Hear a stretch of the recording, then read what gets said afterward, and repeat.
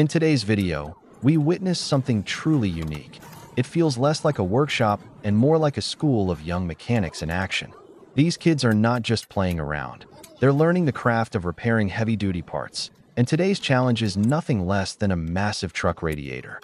The radiator, or rather two of them, arrives in terrible condition, caked in dirt, full of scale and corrosion, and badly in need of some love.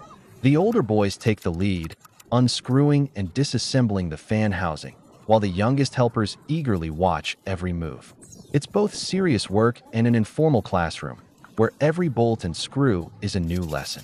Once the casing is open, it's time to clean the inside. The task of scraping away the tough buildup is handed to the smallest assistants. Armed with thin wires, one boy carefully pokes through the radiator fins, while another uses a stiff brush, though sometimes a little too aggressively, to scrub off the grime. Meanwhile, the smallest helper finds his own rhythm. For every one cup of water he pours into the radiator, two end up splashed over his own head. It's messy, chaotic, and absolutely heartwarming. After a long rinse, the team reassembles the casing and fills the radiator with fresh water drawn straight from a nearby well. This serves as a leak test. Sure enough, a small stream appears at one of the joints where the casing was recrimped. The radiator is carried over to the master mechanic, who steps in to handle the delicate task of soldering. A careful bead of solder seals the leak, and when the radiator is refilled, this time it holds strong, no leaks in sight.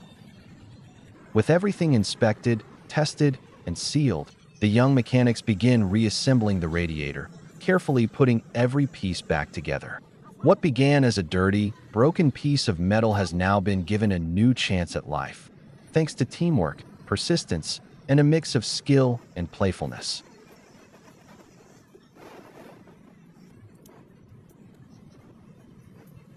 This video is more than just a repair. It's a glimpse into the hard but inspiring conditions in Africa, where even the youngest are learning trades that will serve them and their communities for years to come. Subscribe and join us for more fascinating looks at real-life repairs, creative problem solving, and the incredible spirit of these future mechanics.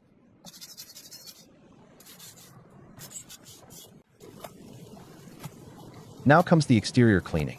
Unfortunately, one overenthusiastic helper attacks the delicate cooling fins with a stiff brush, bending some of them out of shape. The radiator may have lost a bit of its original look, but at least it's clean, and the experience gained is priceless.